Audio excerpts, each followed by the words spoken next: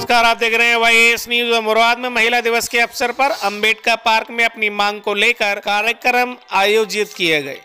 मंगलवार को civil line स्थित अंबेडकर पार्क में अंतर्राष्ट्रीय महिला दिवस के अवसर पर आंगनवाड़ी कार्यकर्ता एवं सहायिका वेलफेयर एसोसिएशन यूनिट द्वारा एक शानदार कामगार महिला सम्मेलन आयोजित किया गया, जिसमें मुरादाबाद मंडल के पाँचों जनपदों से आंगनबाड़ी कर्मचारी एवं अन्य महिलाओं ने हिस्से लिया। इतिहास पर प्रकाश डालते हुए बताया कि 1908 में अमेरिका के न्यूयॉर्क शहर से कामकाजी महिलाओं का जो आंदोलन बराबरी के लिए समान काम के लिए समान वेतन काम के आठ घंटे करने, वोट का अधिकार तथा अन्य सुविधाओं के लिए शुरू हुआ था, वह आज भी जारी है। वक्ताओं ने देश में बढ़ती नशाखोरी महँगाई श्लीलता पर गहरी चिंता व्यक्त करते हुए महिला कामगारों के साथ हिंसा अपराध पर भी दुख जताया। आठ मार्च को कामकाजी महिलाओं के लिए अवकाश घोषित करने की मांग करते हुए उत्तर प्रदेश सरकार की आंगनबाड़ी कर्मचारियों का फंड, पेंशन, रिटायरमेंट, तत्काल रोकने, पोषाहार वितरण में डीलर समूह का हस्तक्षेप समाप्त करने बिना संसाधन दिए ऑनलाइन कार्य न कराए जाने, मानदेय प्रतिमा सात तारीख तक दिए जाने की मांग को लेकर ज्ञापन भेजे गए। सम्मेलन में तय किया गया कि आगामी अट्ठाईस, उनतीस मार्च को देशव्यापी हड़ताल में शामिल होंगे। तथा तत्काल आंगनबाड़ी कर्मचारियों का जबरन रिटायरमेंट न रुका तो एक मई से आंदोलन शुरू होगा। कार्यक्रम में मिथिलेश चौधरी, पूनम बिश्नोई, सत्यबाला चौधरी, विनीता शर्मा, रजनी दिवाकर शशि बाला स्नेहलता चौधरी, माया चौहान, सुनीता आदि उपस्थित रहे।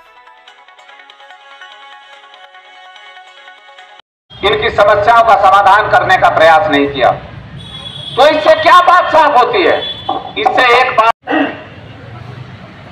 कि सालों साल काम करने के बाद भी आज तक आंगनबाड़ी, क्योंकि हम देख रहे हैं कि सरकारें लगातार जो मजदूरों को, कर्मचारियों को मिलने वाली सुविधाएँ हैं उनमें संवर्धन के बजाय, उनको बेहतर करने के बजाय लगातार उनमें कटौती कर रही हैं।